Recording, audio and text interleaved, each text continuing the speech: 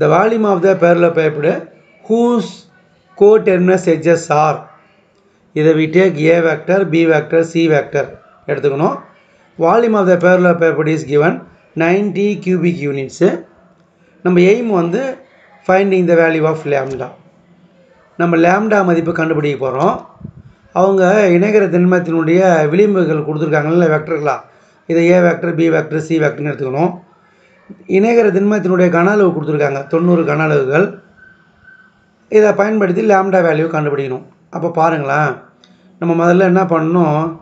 ஏ vector கொஷினை பார்த்து எழுதிக்க வேண்டியதான் A vector seven I vector plus lambda J vector minus three K vector இது ஒரு கிளியராக எழுதிக்கும்.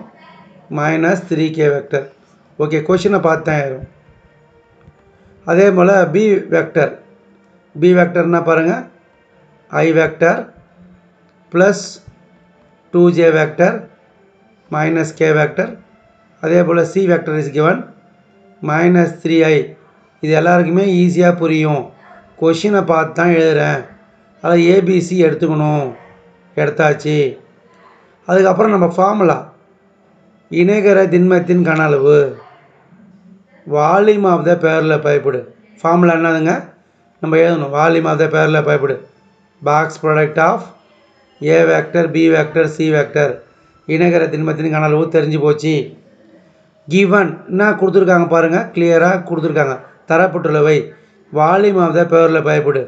90 கியூபிக் யூனிட் இணைகர திண்மத்தின் கன அளவு தொண்ணூறு கன அளவுகள் அப்போ box product of A vector B vector C vector equal to ninety cubic unit இல்லை தொண்ணூறு கன அளவுன்னு எதுவும் box product box product of A vector B vector C vector எப்படி எழுதுவோம்? பெட்டி பெருக்கம். A vector B vector C vector எப்படி எழுதுவோம்? ஓகே குட் எல்லாம் மைண்டில் திங்க் பண்ணிட்டீங்க. சார் டிடர்மெண்ட்டில் எழுதணும் சார்ன்றது நீங்கள் நினைக்கிறது எனக்கு புரியுது. இப்போ பாக்ஸ் ப்ராடக்ட்னா டிடர்மெண்ட்டில் எழுதணும். அணிக்கோவையா அணிக்கோவை முறையாக பயன்படுத்தணும். ஏ வெக்டர் பார்த்து எழுதுங்க. செவன் லேம்டா மைனஸ் த்ரீ அதுக்கப்புறம் B vector one two minus one அதுக்கப்புறம் C vector minus three seven five அதுக்கப்புறம் எக்ஸ்பேண்ட் பண்ணி ஆன்சர் கண்டுபிடிச்சிடலாம். லேம்டா வேல்யூ ஈஸியாக கண்டுபிடிச்சிடலாம். இது அணிக்கோவை விரிவுபடுத்தி ஏறணும் எக்ஸ்பேண்டிங்கெல்லாம் ஆர் ஒன் ஆர் ஒன் வாயில் விரிவுபடுத்த போகிறேன் செவன் இருக்கா? டூ இன்ட்டு ஃபைவ் டென்னு மைனஸ் போடணும். Seven into minus one minus seven இங்கே ஒரு மைனஸ் இருக்கிறதுனால ப்ளஸ் செவனாக மாறும். Minus lambda one into five five minus எடுத்துக்கணும். மைனஸ் த்ரீ இன்ட்டு மைனஸ் ஒன்று ப்ளஸ் த்ரீ மைனஸ் இது அப்போ மைனஸ் த்ரீயாக தான் இருக்கும். மைனஸ் த்ரீ எடுத்துக்கணும். One into seven seven minus minus three into two minus six இங்கே மைனஸ் இருக்கிறதுனால ப்ளஸ் சிக்ஸ் ஆகிடும் ப்ளஸ் சிக்ஸ் இது புரிஞ்சுக்கிங்க? ஈக்குவல் டு நைன்ட்டி நம்ம எய்ம் என்னான்னு சொல்லிட்டேன். நம்ம எய்ம் வந்து லேம்டா வேல்யூ கண்டுபிடிக்கிறது. So seven எழுதிட்டுனா ten plus seven seventeen minus லேம்டாவா? Five minus three அப்போ நம்மளுக்கு எல்லாருக்குமே தெரியும். டூ தான் இது. டூ ஒரு குழப்பம் வரக்கூடாது. இதெல்லாம் பெரிய தப்பு கிடையாது. இங்கே வந்து பெரிய தப்பு பண்ணக்கூடாது. ஃபைவ் மைனஸ் டூனா two okay minus three seven plus six seven plus சிக்ஸ்னால் இந்த இடம் தான் வரும். தேர்ட்டீன் ரெண்டுத்தையும் ஆட் பண்ணால் தேர்ட்டீன் தான் வரும். அதுக்கு அடுத்த ஸ்டெப்பில் செவனையும் செவன்டீனையும் மல்பை பண்ணணும்.